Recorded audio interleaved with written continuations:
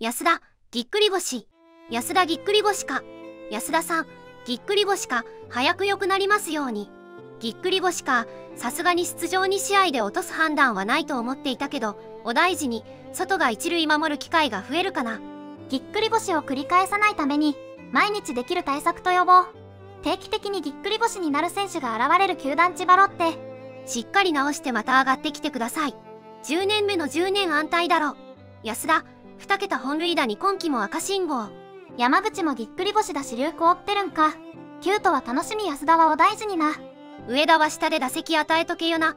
安田故障だからって今上げて茶のび悩みコース乗るだけじゃねえか。